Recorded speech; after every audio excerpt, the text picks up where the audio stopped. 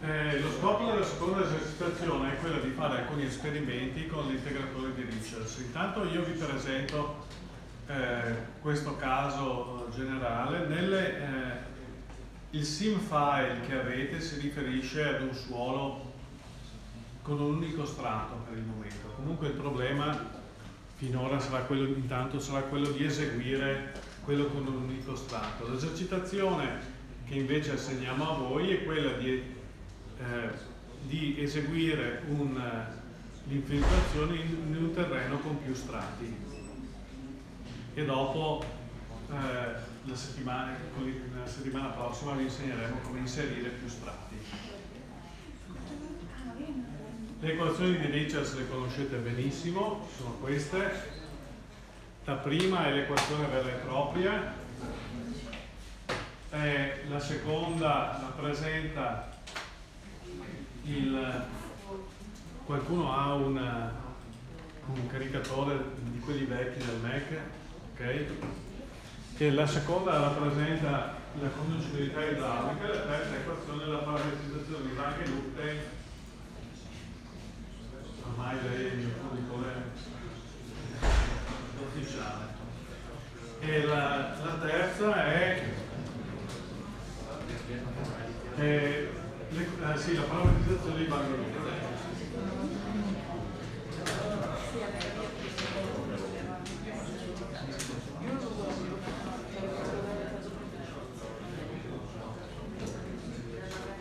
E allora, che cosa serve per risolvere l'equazione di Richard? Beh, vi serve un modello matematico. Questo modello matematico in pratica contiene il solutore dell'equazione di Richards e, eh, una, eh, e anche eh, contiene una definizione delle curve di ritenzione idrica, quindi per esempio la parametrizzazione di Van Genutte e eh, la parametrizzazione delle, eh, della della conducibilità idraulica. Il solver a sua volta che cosa contiene? Contiene un metodo numerico che risolve l'equazione, cioè una discretizzazione dell'equazione su una griglia, in particolare in questo caso è una, griglia, una griglia regolare, ma potrebbe essere anche una griglia irregolare. Questo fa sì che la prima cosa che voi dovete fare è quella di, eh, sarà quella prima ancora di eseguire, beh, il, il, calcolo che io ho eseguito perché tutte queste operazioni sono già state fatte, in particolare l'implementatore, il, uh, l'inventore del metodo numerico che noi usiamo è Vincenzo Casulli, professore qui di, uh, del nostro dipartimento, l'implementatore che ci ha messo del suo naturalmente Niccolò Cubini, e, ehm, e poi eh, abbiamo quindi il programma ce l'abbiamo, è contenuto nel file jar che vi, ho messo, che vi ho visto prima, dobbiamo fare comunque tutta una serie di operazioni preliminari per eh, preparare la simulazione. E in particolare la prima parte è la definizione della griglia. Per esempio qui è rappresentato una, un suolo, questo suolo ha ah, tre strati, come vedete eh, in qualche modo identificati sia pure in una forma non così precisa come, come il modello richiede. Uno più scuro sulla superficie che ha un contenuto evidentemente organico molto più alto, un contenuto centrale che è rossiccio, forse contiene degli ossidi di ferro, no?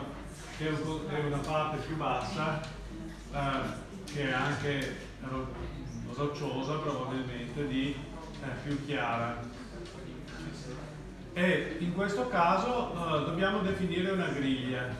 Uh, la griglia che cosa ha due elementi da definire rispetto al dato che voi vedete rappresentato, cioè il dato che voi vedete rappresentato è che esistono tre orizzonti. Quindi noi dobbiamo definire sia gli orizzonti sia la griglia numerica. La griglia numerica può essere molto più piccola. In particolare qui Uh, in particolare qui, eh, poi vedrete quando andremo a vedere il parametro che setta il numero di elementi, Niccolò ha scelto una griglia fittissima, cioè nella, nello spazio di due metri penso una griglia con 2000 punti, quindi la risposta viene data diciamo punto per punto. È fisico quello che si ottiene su questa griglia così piccola? In realtà non è fisico perché le equazioni valgono alla scala di Darcy, quindi varrebbe su una scala che grosso modo ha delle stesse eh, dimensioni, vedete, degli orizzonti che voi vedete. Quindi diciamo la griglia numerica è molto più fitta della scala di Darcy. La griglia numerica qui è segnata con, eh, con dei punti, in particolare e, questi punti segnano i centroidi della griglia numerica. In questi punti è, è dove viene calcolata cosa, la variabile eh, della nostra equazione, se voi vi ricordate bene, le variabili dell'equazione di Richard sono, se vogliamo, due. Eh, il contenuto d'acqua e il, eh, la la pressione. Qui la pressione non è segnata come suzione, peraltro nel modello, è segnata, cioè non è segnata come suzione, cioè sempre positiva, ma è segnata come pressione negativa. Quindi dopo dovremo interpretare i risultati che vediamo.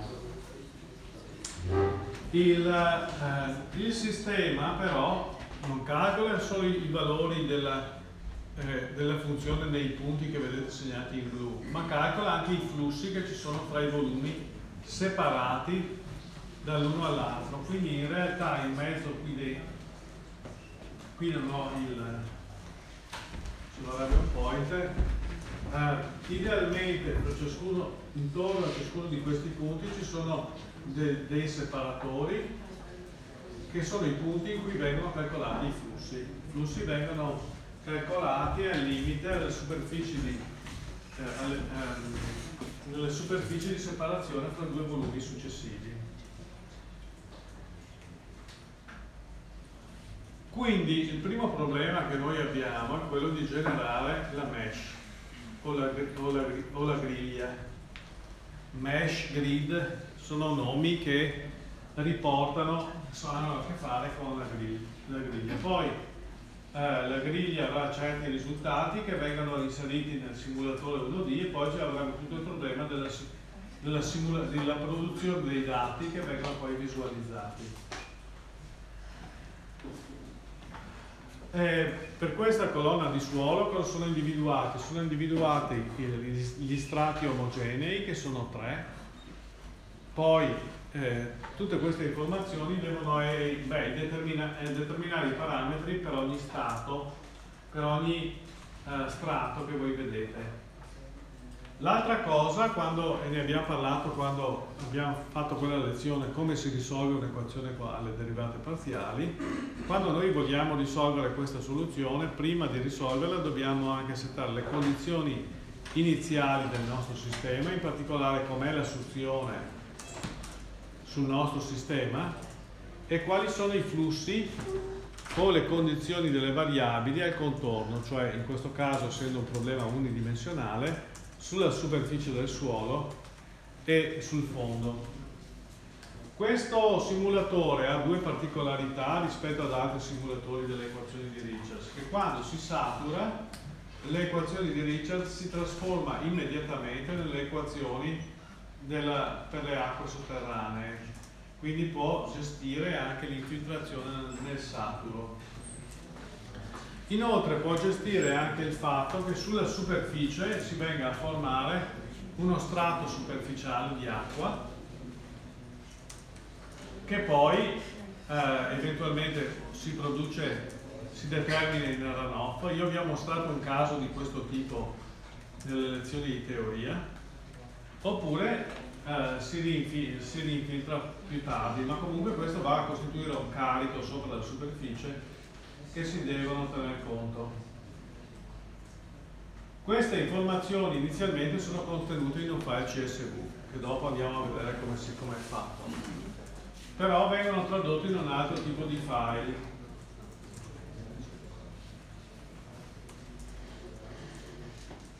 Per esempio, la condizione iniziale, e qui Nicolò ha giocato, ha giocato un po' con questa slide, nel senso la condizione iniziale, per esempio, dice il contenuto d'acqua che abbiamo sulle ascisse varia nei tre strati. Com'è possibile che il contenuto vari nei tre strati? Beh, evidentemente perché per ciascuno dei tre strati è data una curva di ritenzione idrica diversa. Quella che invece è in equilibrio nei tre strati è la suzione. In questo caso che vedete bene, eh, la suzione è 0 sul fondo in questa situazione, quindi significa cioè che è assunta che ci sia una falda sul fondo e, e poi decresce linearmente con la superficie idrostaticamente. L'intero, uh, questa colonna è di un metro, parto da zero in fondo a un metro sopra, sopra lo zero, sono a meno uno di suzione perché il carico è idrostatico e misurato in metri. Come si arriva a questa soluzione? Intanto bisogna assumere una delle tre categorie di eh, curve di ritenzione idrica che qui sono ammesse. Noi ne abbiamo viste esplicitamente solo una, la curva di Van Genutte, quindi magari voi usate solo Van Genutte ma poi, siccome vi ho detto nelle vostre il bello di, questa, di questo laboratorio è che voi dovete anche esplorare delle altre cose, chi più esplora più, più guadagna. Tu potresti anche sederti se vuoi. Mi metti soggezione così. Obbedisco. Il Bruxelles Gorey è un'altra eh, un'altra sì, eh, parametrizzazione delle curve leggermente diversa da Van Genutten e Kosugi era una terza, una terza rappresentazione che non mi ricordo più in questo momento se, io, se ve ne ho parlato, ma mi pare di sì, eh, che correla direttamente la struttura dei pori del, del vostro sistema alle curve di ritenzione idrica. In ciascuno dei tre ca casi è comunque la preparazione delle, delle, delle della, della griglia per le simulazioni ed è in un notebook diverso.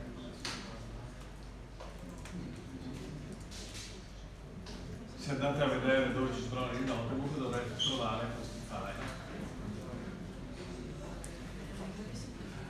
Il, Ci sono alcune eh, variabili da definire, no? Cioè il... Beh, questo è il notebook che va a generare i file, dopo lo vediamo. Questo notebook vi, vi aiuta a definire alcune variabili che sono poi usate all'interno delle simulazioni. Beh, la prima variabile è il path dove si trova, uh, trova l'input. In questo caso voi potete immaginare, visto che vi ho parlato di dove si trovano i dati di input eh, diciamo standard in OMS, si trovano nelle directory data, quindi i, i, questi anche si trovano nella directory data, in particolare però c'è una sottodirectory che si chiama da, uh, data generation.input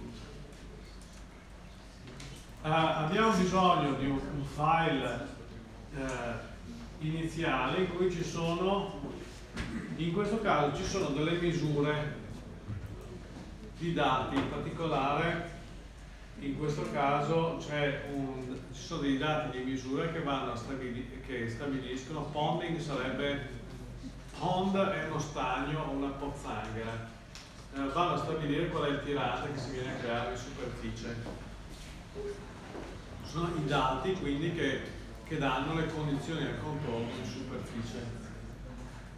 Eh, l'output, eh, poi c'è l'output file name, è il nome del file che dobbiamo generare eh, come risultato. Eh, potete osservare che ha un'estensione un po' strana, NC. NC eh, è l'estensione che ha è sempre un file che voi potete leggere, ma se lo leggete vi risulterà molto, molto, comunque molto complicato, è un file che si chiama netcdf, che ha anche un formato diciamo compresso e che, contiene, e che permette una rappresentazione dei dati completamente eh, spiegata. Cioè all'inizio vi, vi, ho detto, beh, il file di dati, per esempio quello delle precipitazioni che io vi avevo proposto, io ho detto questo, da, questo file di dati non è autoesplicativo perché se io lo apro poi per esempio non so quali sono le unità di misura, che cosa, che cosa realmente è rappresentato nel file e così via. Questo formato netcdf invece contiene tutte le informazioni che consentono di capire eh, come, è fatto, come è fatto il file. Eh, poi c'è eh, un output title che è il titolo delle colonne dei dati che vengono eh, posti in uscita. In particolare qui sono messi dentro anche alcuni parametri che magari andiamo a verificare poi nel, nel file eh, nel, nel notebook. Eh, alcuni certamente li riconoscete, per esempio θS, che cos'è? θS sarà il, la porosità della, del sistema. Poi c'è scritto clay, significa che stiamo trattando di un'argilla. Ah, θR è il contenuto di acqua residuo, K con S è la conoscibilità idraulica a saturazione, poi ci sono l'alpha specific uh, storage e il beta specific storage che sono legate alla comprimibilità del mezzo e dell'acqua. Naturalmente il mezzo è, è, generalmente molto più comprimibile dell'acqua, in questo caso entra, è messa a zero la comprimibilità. È una condizione questa non fisica che, che determina alcuni problemi, per esempio uh, la propagazione di onde di pressione a velocità infinita dentro il metodo.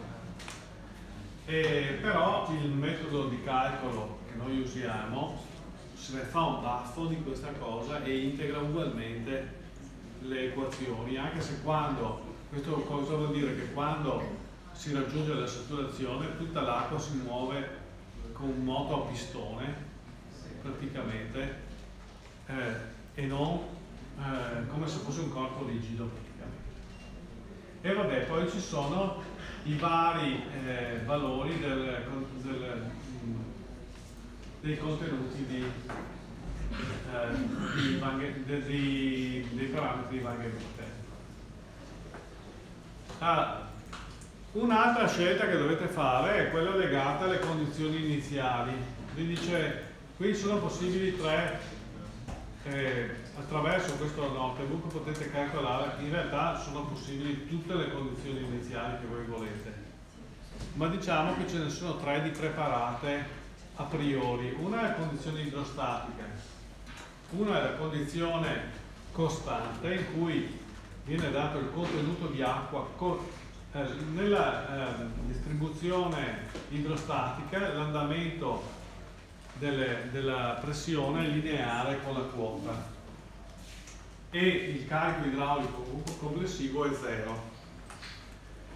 La, uh, la condizione costante ipotizza come condizione iniziale per esempio un contenuto di acqua costante, beh, contenuto di acqua costante per esempio su un layer o anche, può essere anche su più layer differenti, in questo caso un contenuto d'acqua costante non assume un carico idraulico costante quindi anche se noi non facciamo piovere il sistema si rilascia, si rilassa, non si rilascia e si dispone su una configurazione poi di equilibrio. Poi c'è anche una condizione che si chiama linear interpolation e dice ma se voi avete delle, delle misure per esempio di θ o di psi potete usare questi θ e questi psi per costruire la vostra condizione iniziale. Um, licit, uh, licit type in questo caso è idrostatico. C'è un file che, eh, che, viene prodotto poi nell'input CSV, eh, se, se l'andiamo a leggere, contiene questi dati. In questo caso adesso ad uno ad uno vado a spiegare cosa sono queste variabili, però è una forma di dati tabellari, alcuni dei dati che stanno sulle colonne li ho già spiegati, altri non li ho ancora spiegati. Tipo type, eta, n non li ho ancora spiegati. In particolare L identifica che ci sono dei layer, cioè eh, non layer numerici, ma layer di eh, fisici, cioè quello che avete visto prima erano tre layer, in questo caso ci sono tre layer, 1, 2, 3. Il primo e l'ultimo sono sempre dei layer. Ci sono anche degli strati intermedi, che in questo caso sono chiamati M, che non sono dei layer, ma sono dei punti di misura. Io all'interno di un layer posso aver messo uno strumento di misura per fare la misura per esempio di suzione.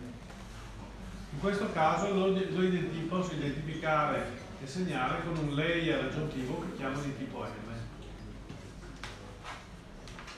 Um, eta che cos'è?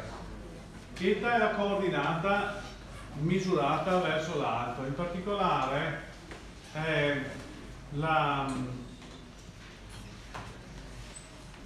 l'origine qui è fissata sulla superficie e ehm, beh lì è scritto meno 2, meno 3, meno 4 ma Uh, in questo caso vedete la vedete rappresentata nel, eh, nel, nella sezione di suolo e i vari strati sono i livelli dei vari strati. Il primo layer è a 0, l'ultimo layer in questo caso sarebbe a 1, non corrisponde alle cose che vedete in alto e eh, avete uno strato intermedio che è tra meno 0,5 e meno 0,7 metri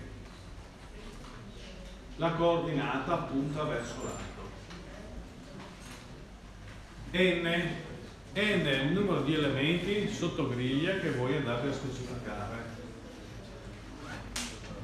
Nicolò quindi ha scelto 120 per il primo strato, 160 per il secondo, 160 per il terzo e poi nell'ultimo layer in realtà non ci sono, non ci sono è solo, serve solo a segnare la posizione finale e quindi non ci sono, ha messo meno 999 che sta per un not a number in questo caso.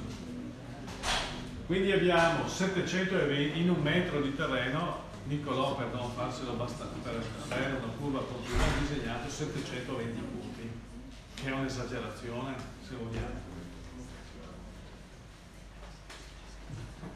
Uh, quello che, che, viene suggerito qui è che ovviamente in prossimità della superficie, dove per esempio c'è interazione con le precipitazioni, è ragionevole mettere più layer, perché è lì che c'è la massima variazione del, eh, sia del contenuto d'acqua che della pressione e si possono generare delle curve che sono, non sono mai realmente discontinue, ma sono presentano una variazione molto forte nel passare per esempio da un centimetro all'altro.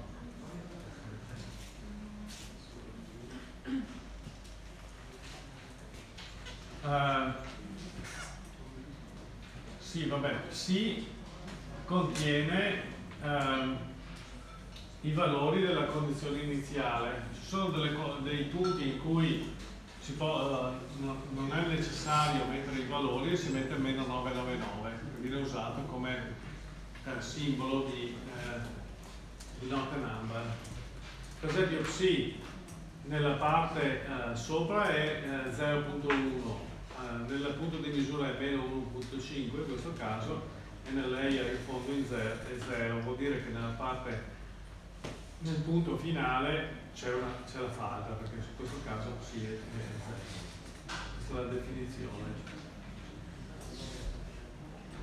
Eh, nel, poi c'è una serie di colonne che hanno i parametri della curva della parametrizzazione che abbiamo scelto. Per esempio se abbiamo scelto Bang Lupten c'è il valore di n e il valore di alfa. Se abbiamo la Luxen Corey, la seconda colonna si chiama non n ma si chiama psi se abbiamo Cosugi abbiamo R e sigma, dove R e sigma sono la dimensione, de, eh, de, la media della dimensione dei pori e sigma la varianza della dimensione dei pori. Eh, quello di Romano è un po' più complicato perché è simile al modello di Kosugi in realtà, ma assume che ci siano due, che il suolo abbia una struttura e quindi ci siano due eh, sistemi di porosità, uno dovuto diciamo alla tessitura e l'altro dovuto alla struttura, quindi una curva bimodale che ha due, due eh, bisogno quindi di due sigma e di due, e di due eh, variabili medie. Quindi a seconda del modello voi avete vari elementi. Teta S e teta con R sono il contenuto, uh, la, la, la, porosità, teta con S, il contenuto d'acqua a saturazione, se volete, teta con R è il contenuto residuo. K con S è la conducibilità idraulica. L'alpha specific storage, se voi andate a riguardarvi le equazioni che riguardano questa roba qua, è, è la comprimibilità dell'acqua molto piccola, potremmo anche metterla a zero per semplificare la comprimibilità dell'acqua. Perché il termine che è più grande invece è, cioè no, beta è la comprimibilità dell'acqua, è l'alfa che è il termine più grande. C'è anche un altro termine che è chiamato ET come evapotraspirazione, perché in linea di principio noi possiamo pensare che ci sia un qualcosa che estrae contenuto d'acqua da ciascun layer e in questo caso potrebbe essere l'evaporazione del suolo. E, e, qui è messa tutta a zero ma eh, perché in questo caso non è accoppiato ad un modello di evaporazione ma semplicemente è, viene assegnato un file o, o degli elementi in cui in prima approssimazione viene calcolata l'evaporazione.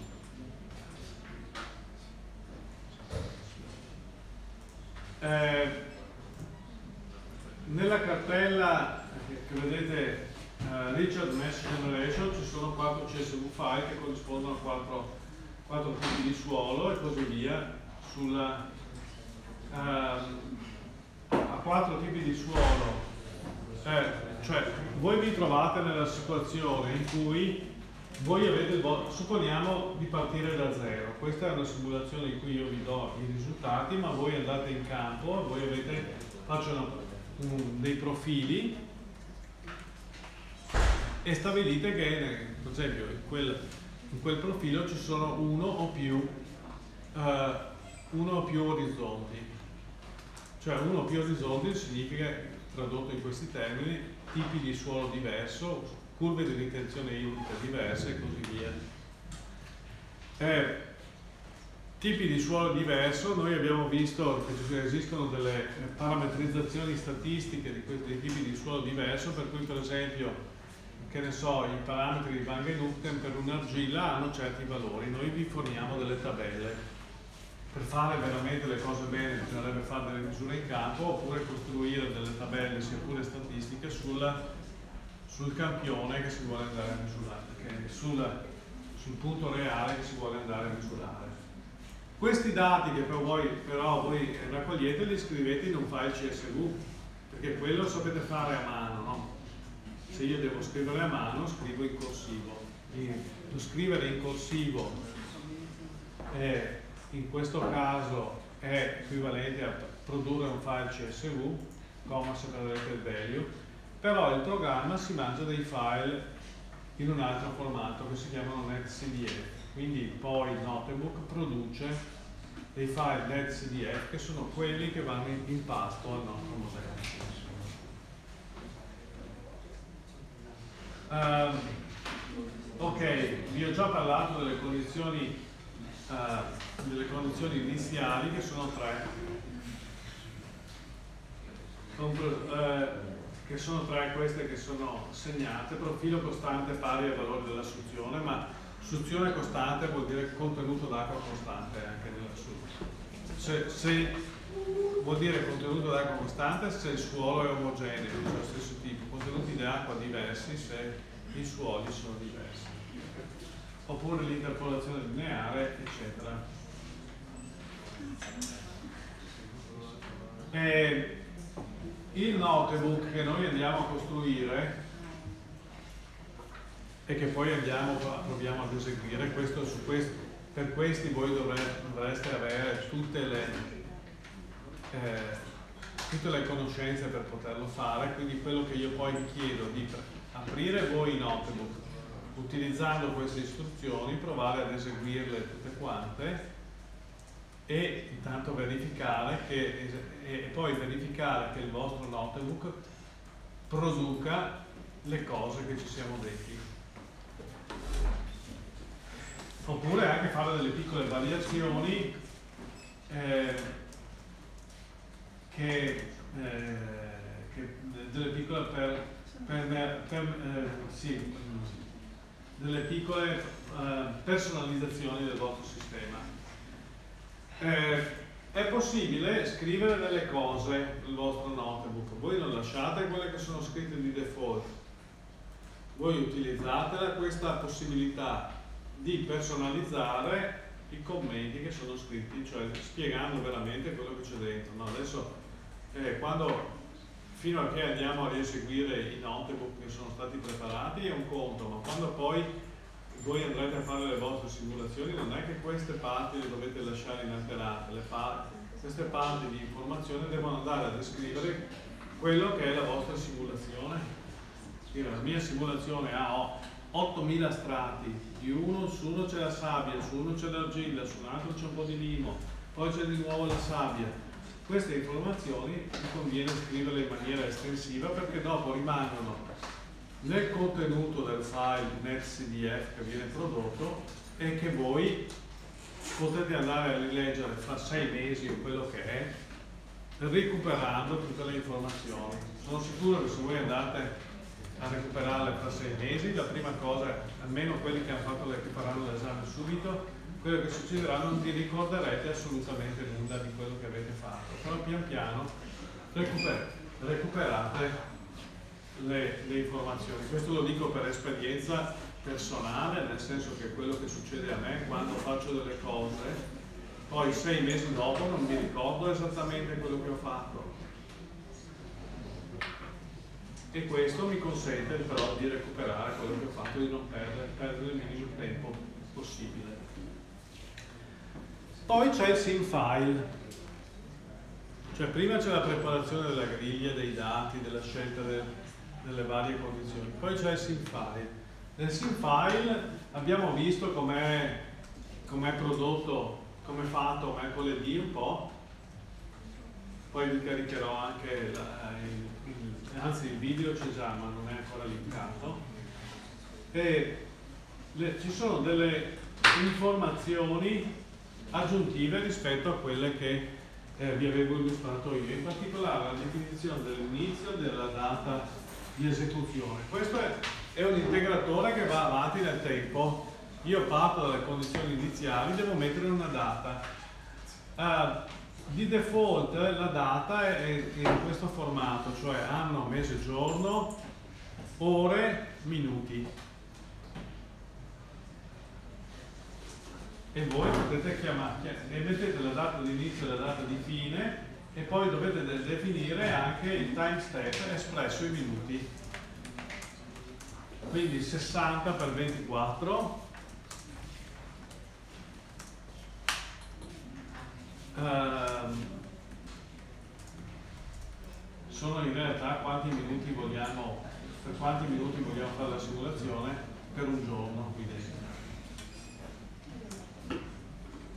Quali sono le componenti? Una cosa che avevamo visto era che non è immediatamente visibile qual è il nome interno delle componenti che sono dentro i jar file. Ci sarebbe un comando per, per sapere quali sono i nomi delle componenti dentro il jar file. Questo in questo momento io non me lo ricordo, ma sicuramente il problem solver vi saprà dire quando glielo chiedete. Quando, quando glielo chiedete eh, come si fa? C'è un comando Java che vi permette di sapere, avendo sapendo dove si trova il jar file, e voi sapete che il jar file si trova in lib, mettere Java meno opportuna opzione per sapere quali sono questi comandi. Qui il vantaggio è che qui viene spiegato anche cosa sono In particolare c'è una cosa che si chiama monodimensional problem time dependent. Come vedete, beh, questa, questa um, notazione è quella per indicare le variabili in Java, primo nome minuscolo, poi tutti i nomi intermedi maiuscoli, nome estensivo perché comunque cerca di spiegare che cosa c'è dentro.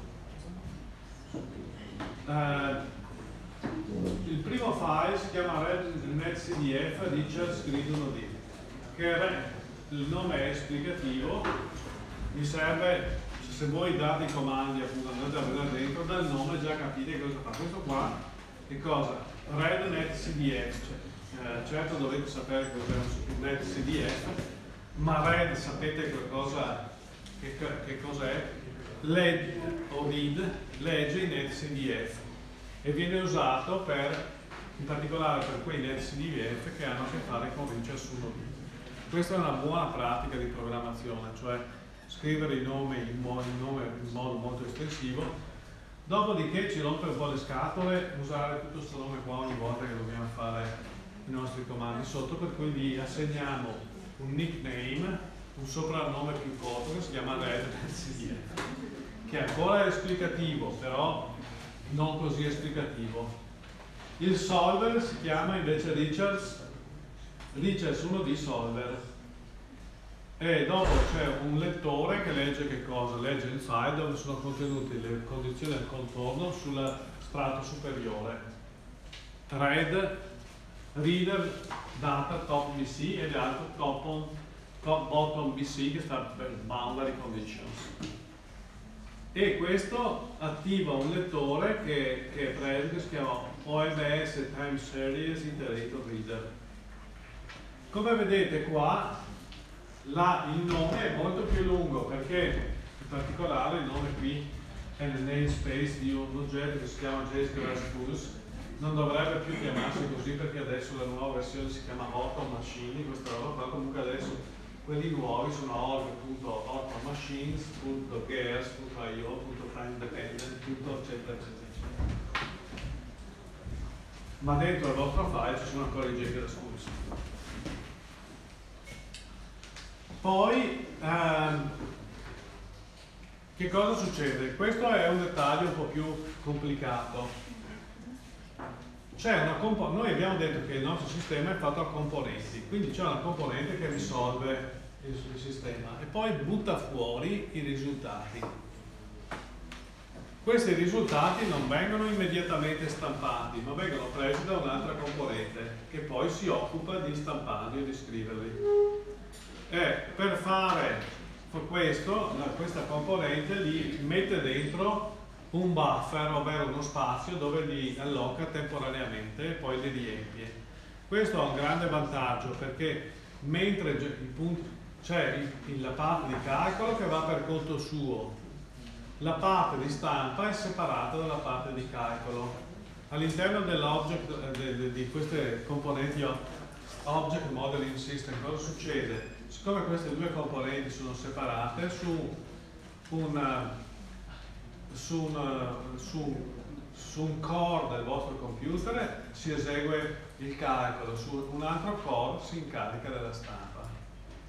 C'era un mio amico che si dannava per dei mesi per costruire dei codici molto veloci nel calcolo, dopodiché stampava tutti, a schermo tutti i dati che, che otteneva, questa operazione fatta in maniera sequenziale occupava più della metà del tempo del calcolo. Quindi fare questa separazione è interessante dal punto di vista numerico perché utilizza le, eh, le architetture multicore dei, nostri computer moderni e le due operazioni vengono separate. E poi le, eh, i dati finali vengono letti di nuovo in un SCDF e questo si chiama brightness in Uh, che parametri eh, ci sono? Beh, in input eh, la simulazione prende in input un netcdf, in particolare un netcdf della griglia. questo, è, è, questo dato che è illustrato qui è sandy clay, cioè sand sopra clay sotto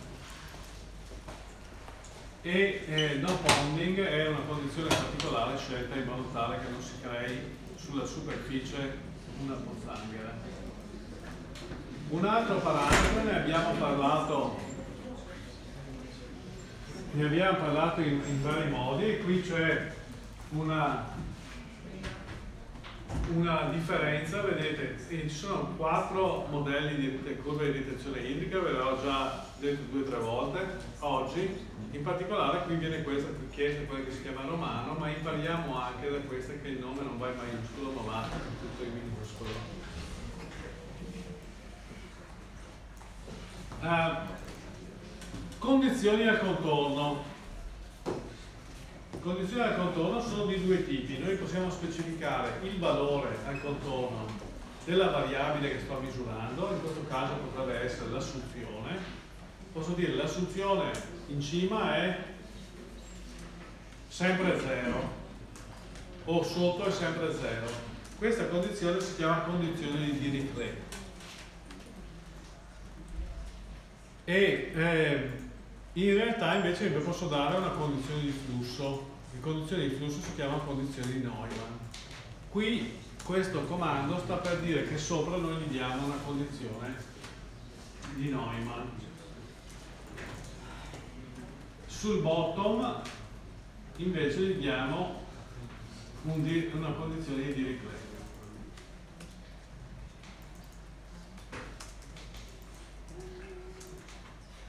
Un'altra cosa è, noi diamo, abbiamo i, i valori delle variabili di stato, li calcoliamo sui punti della griglia i flussi invece li calcoliamo sulle interfacce che separano i nostri volumi, cioè abbiamo tanti volumi sovrapposti, come tante scatole sovrapposte, nel centro della scatola calcoliamo il valore, il flusso lo calcoliamo nel, nell'interfaccia che separa una scatola dall'altra. Come calcolo i valori delle variabili di stato sull'interfaccia? Se per esempio ce l'ho in due punti differenti, così, dovrò calcolare l'interfaccia che sta in mezzo. Beh, una, una cosa, ci possono essere varie eh, situazioni che hanno delle conseguenze sul calcolo. Una di prendere i due valori e di fare la media. Uno di prendere il minimo dei due valori, un altro di prendere il massimo dei due valori. Queste sono tutte variabili che voi potete, eh, potete cambiare nelle vostre simulazioni e che anzi io vi invito a fare qualche esperimento di cambiamento. Come vi ho detto, il vostro voto dipenderà da, quanti, da come e quali esperimenti voi fate su questa cosa qua. Certamente se voi riproducete quello che facciamo noi, che vi diamo, l'esercizio che vi diamo fatto in maniera piana, prendete comunque un bel voto, ma il massimo lo prendete se fate alcuni di questi esperimenti, per esempio giocando con le variabili, gio giocando con una di queste molteplici combinazioni che sono possibili. Così. Sì. Quindi con i parametri di prima sì. modifico il flusso. Eh, con i parametri di prima si modifica il flusso perché l'equazione del flusso che cos'è? È per esempio eh, il flusso di, eh, un flusso di tipo Darcy è la, la, la, conducibilità idraulica. La conducibilità idraulica è calcolata, se vogliamo, di, è, è calcolata in funzione dei parametri di stato, ma il parametro di stato ce l'ho un punto sotto un punto sopra, in mezzo ho l'interfaccia, in quel, valore, in quel punto lì il flusso come, come, lo calcolo? Beh, devo decidere qual è il valore della variabile di stato nel, nel punto intermedio dell'interfaccia e questo lo posso, posso avere diverse strategie, queste sono diverse strategie. Un altro elemento è, eh, questo è più legato al, al solutore, è la tolleranza con cui accetto. Io per esempio qui, eh, il mio sistema è un sistema che muove della massa dall'alto verso il basso, dal basso se, se, se, ci fossero condizioni anche dal basso verso l'alto. eh, la massa deve conservarsi. Il sistema, il solutore è un sistema che si chiama intrinsecamente conservativo, cioè è scritto in modo le equazioni che conserva la massa, però io questo lo posso verificare andando a verificare i residui del mio sistema di integrazione. Io voglio che i residui qui, se il mio sistema funziona bene, devono essere dell'ordine dell'errore dell di arrotondamento che io ottengo la, sul mio processore. L'errore di arrotondamento qui è dell'ordine di 10 alla meno 16. Quindi come vedete lì è messo 10 alla meno 14, ma va bene. L'algoritmo che, che, è stato implementato si chiama è, è algoritmo di Nested Newton sono due algoritmi di Newton innestati uno dentro che ha tutta la sua struttura, per chi fosse interessato possiamo dargli anche delle informazioni ulteriori. Chi, eh, ci sono anche dei corsi della laurea magistrale che consentono di imparare poi come sono fatti questi metodi, per esempio il corso di modellistica numerica. Uh, in realtà ci sono due metodi, uno questo nested Newton che fa un po' di più di iterazioni e l'altro è il, il metodo di Newton. In alcuni casi il metodo di Newton converge. Il metodo di nested Newton in particolare applicato a Richards 1D è dimostrato esattamente che converge sempre. Cosa vuol dire? Sono metodi iterativi, per cui prima faccio una prima guess di quali sono le mie variabili, dopo rimetto dentro il calcolo e lo rieseguo varie volte fino a che la tolleranza dell'errore è quella che vedete in alto. E il nested Newton so che converge sempre. L'altro metodo non sempre converge, però avrebbe il vantaggio di essere più veloce. E quindi ci sono eh, il, time step poi devo specificare e il time delta. Questo è il, il time delta è il, è il, il numero di eh, il delta t che è usato nello schema numerico. Non necessariamente, c'è una differenza. Lo schema numerico ha bisogno di beh, uno schema particolare che comunque non dipende, posso usarlo comunque uno schema no, un time step, ma diciamo è separato il time step dell'integratore interno dal time step con cui io produco i risultati. Cioè internamente posso calcolare per esempio il mio flusso ogni decimo di secondo, ogni secondo. Esternamente io posso volere il mio flusso ogni minuto. Calcolare ogni decimo di secondo in alcune situazioni può essere importante per, per vedere per esempio se si formano delle cose tipo di shock, di cose di questo tipo qua. Però dopo io alla fine lo voglio come minuto perché se lo faccio delle simulazioni, non so, 100.000 anni per esempio. Supponiamo che io voglio simulare l'infiltrazione di 10 anni. 10 anni secondo per secondo sono un bella, una bella quantità di dati, no? in particolare qui eh, il massimo di dati finora che abbiamo provato, abbiamo fatto delle simulazioni di 8 anni secondo per secondo, quindi una quantità di dati molto grande. Però la quantità noi la rappresentiamo solo non ogni secondo, se noi la vogliamo vedere la rappresentiamo per esempio andiamo a vedere i risultati che ne so ogni giorno, come cambia sta roba che già su 8 anni sono comunque tanti dati e quindi i due, eh, i due, i due eh, time step sono separati.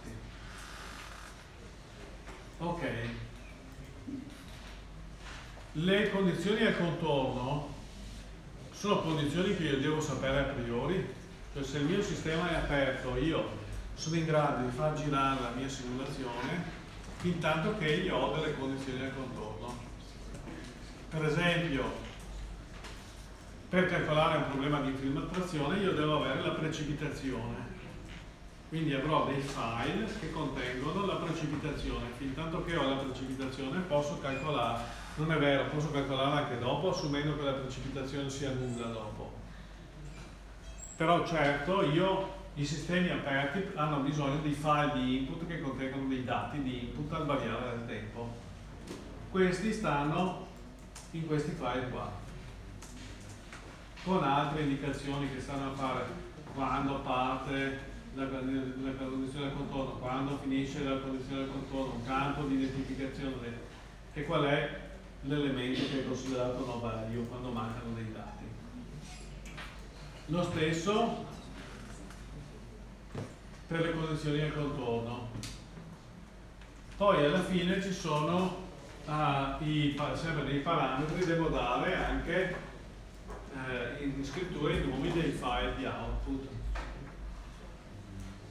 E dopodiché si può dare un file di descrizione della propria simulazione che viene stampato all'interno dell'LCDF che è utile per capire che simulazione ha fatto, perché ho detto in una, in una fase di grande attività voi magari fate 50 simulazioni in un giorno, il giorno dopo non sapete più che cos'è, allora per ogni simulazione se voi avete scritto questa è la simulazione, beh poi anche vi aiuterà la data, magari altri, altri elementi. Questa è la simulazione che ho fatto in queste condizioni, in parte le potete dedurre dei valori dei parametri, ma se ve lo trovate scritto questo vi aiuta molto. Quindi la breve descrizione non deve essere come ha fatto Niccolò, ma uno spazio vuoto, questa è la descrizione. Come vedete la descrizione qui è uno spazio vuoto. Mai lasciare questo spazio vuoto se volete riutilizzare la simulazione che avete fatto. Se voi state facendo una simulazione così per che dovete provare altre cose potete lasciare anche quello spazio vuoto ma se quella simulazione vi serve per produrre dei risultati che poi è meglio che ci scriviate qualcosa dentro. Poi come si connettono tutte le, le varie, i vari elementi. Anche qua quindi c'è, questa sono la connessione dei dati di input con i dati di output delle componenti. Come vedete c'è una sfilza che non si risolve neanche qua perché finisce, ci mette due slide. Questa come esercizio su questa lista che poi vedete anche nel file di simulazione e cercate di capire che cosa è una che, cos'è, che cosa produce un input e che cosa produce un output per esempio la prima che cos'è? leggo la variabile z quindi la quota e la passo alla variabile z del risolutore la seconda leggo il delta della, in pratica del, dei singoli elementi e lo passo al delta del risolutore e così via. Non è così difficile, è solo noioso. Eh, ci sono dei notebook per vedere come si sono fatte le simulazioni e quindi questi poi ce li andiamo anche a guardare. Ok. Eh, qui c'è una piccola estensione della, della, della cosa in cui dice che viene detto che in, ci sono alcune situazioni particolari se voi vi tenete dentro se voi non lasciate sfuggire nessuna acqua dal fondo tutta l'acqua che voi mettete dentro la accumulate conoscete l'acqua che c'era dentro nella condizione iniziale quindi in ogni istante siete in grado di esattamente di sapere quanta acqua c'è dentro nel vostro sistema lo sapete a priori perché quella che gli avete messo dentro più quella che c'era inizialmente. Quindi potete fare un controllo di questo tipo qua, in questo caso, e potete verificare che si, tutto il, il sistema funzioni correttamente.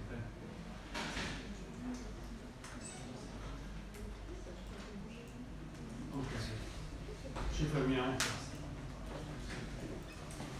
e facciamo un po' di pausa.